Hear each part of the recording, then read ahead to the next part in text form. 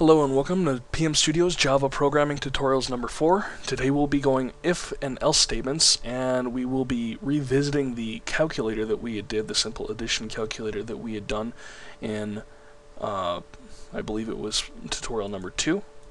So let's go ahead and get started. This is a bit of a lengthy one. As you notice, like always, I have already imported the scanner and created the class and the main method. So we're just going to go ahead and fire away with, um, the first thing we're going to do is going to declare floats. And I did want to revisit floats just a little bit um, to, to enlighten some of you that I might have confused earlier. Basically, the difference between a float and a double, um, they both accept decimals, and the only difference is, is that I was absolutely right. Um, the float accepts less, and the double accepts more. The float has a um, accuracy yield to up to 7 decimal places, I believe, and the double has an accuracy yield up to 14 decimal places, whereas the float is 16 bits generally, or 16 bytes, and the double is 32 bytes. So, um, it all depends on how large your number is, but for the sake of these uh, tutorials, I'm going to try to steer clear of doubles as much as possible, considering that um, uh, we won't be working with numbers large enough to even merit using doubles. It's just wasted memory space. So we're going to go ahead and declare three floats, A, B, and C. And this is another thing that I wanted to go over right away, is that when you're declaring multiple variables of the same type, you can actually, um, you can essentially declare them this way. Uh, this declares all three of them. It says that we're making three floats, A, B, and C. None of them have variables assigned to them right now, so their values are actually nil. Um, it's literally nil, N-I-L, um, for, to the program at the moment. So we'll assign vari variables to them, uh, we'll assign values to them later, but for now we're just going to declare them like that. The next thing we're going to want to do is declare an integer, and then, of course, as always, we're going to call in our scanner. Scanner input equals new scanner system.in.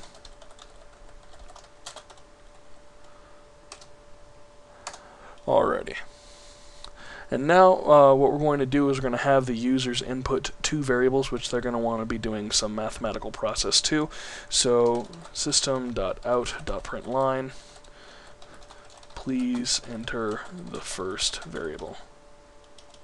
Or let's do value.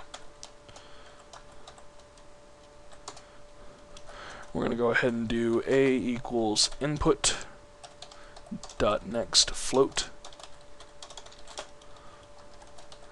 Um, another thing to keep in uh, keep in mind is that floats are also known as singles to some other programming languages. Uh, for the sake of just this Java programming tutorials, we're only going to be using them known as floats. But for my next programming series, which I believe might be a C-sharp programming series, uh, we will be calling them singles because uh, to do some of the commands and that, you need to call them singles. Anyways, moving on, we can always just copy this and then paste it down if you wanted to save time. All you'd have to do is change first to second, and then A to B.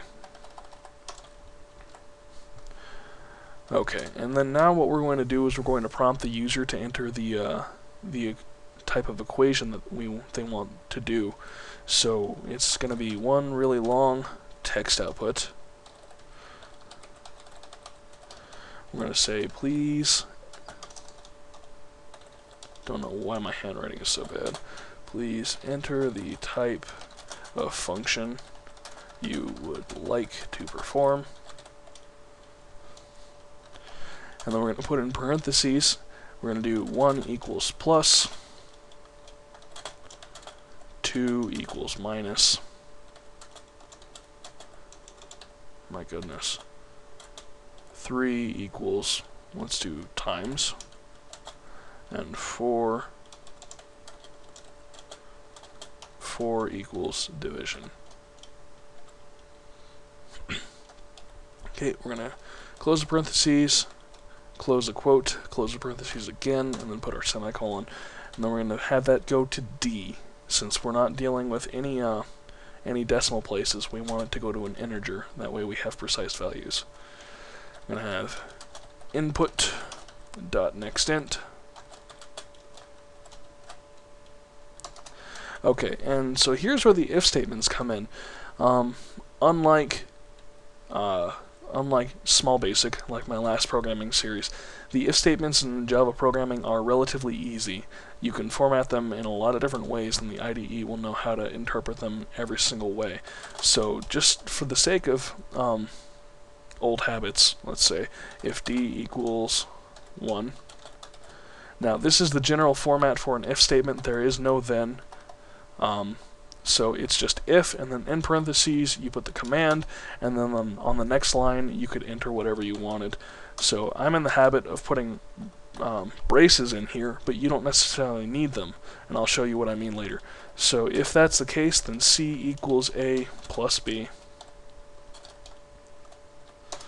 And then system dot out dot print line. I'm going to do C close that. Alright, so here we can base everything else off of this, but what I was saying earlier is that you can do it like this, and it brackets everything off, if it's easier for you to read like that, or you could simply do it like this, and then just put your next if statement down here. And it would still read it just fine. So it's purely a matter of preference. Like I said, I have old habits, so I'm going to do it like this.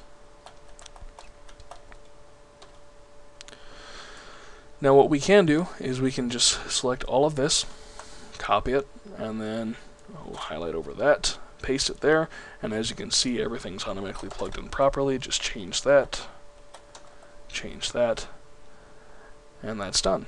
So we can just copy this now, and we don't even have to worry about typing in the else. You may have to correct the alignment in some cases. And then we're just going to change this to 3. Oops. And change that to multiplication. Change that to 4, and this to division. And lo and behold, we have the program almost finished. So the last thing we're going to do is we're going to type in just a plain old else statement. Um, an else signifies that it's the very last command. If you need to put in multiple commands inside your if statement, you want to do else ifs, just like I've done here if you want to do just the very last command, meaning if it isn't any of these up here, just resort to this one automatically, and then just put it else. But just know that that one is specifically reserved for the last slot in your if statements. So we're going to do system.out.println. And this is called error handling. It's a very mild and beginner version of error handling, but it's still error handling nonetheless.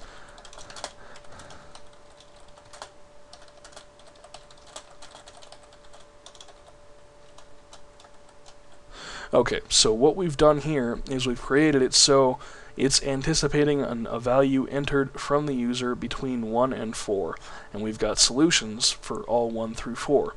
But if they enter anything else, so if they enter a negative number, if they enter a 0, or if they enter a number 5 and higher, um, even letters, because letters have ASCII code assignments, so those would return as numbers themselves, very, very high numbers. And uh, it would catch them right here and tell them that their uh, operations were invalid and it would terminate the program right there. So no harm, no foul. Now what we're going to do is we're just going to compile it. I'm going to save this as if statements.java. I'm going to overwrite that and then we're going to go ahead and do this. So I'm going to do 12, 31, and let's do addition. Please keep in mind that you want to do a trial run for every possible outcome. So 12, 31, do subtraction, comes out to negative 19. Oops, I want to rerun that, my bad. 12, 31, and then multiplication works fine. And then let's do division. That looks just about right. Now, if you'll notice, the reason why we wanted to do floats there is so that it returns um, any possible fractions as well, so we have the uh, the answers as precise as possible. Even though, uh, you know, decimal points like this are, regardless of what they are, they're considered as inaccuracies. Um, to the mathematics world, it's still as close as we can get. So, that's pretty much it. Um, the link to this code will be in the description. Uh, actually, yeah, I think I'll upload the code into a zip file. Well, like I said, the link will be in the description for this code. If you have any questions or comments, feel free to put them in the comments section. I hope you guys enjoyed this tutorial. I will see you next time.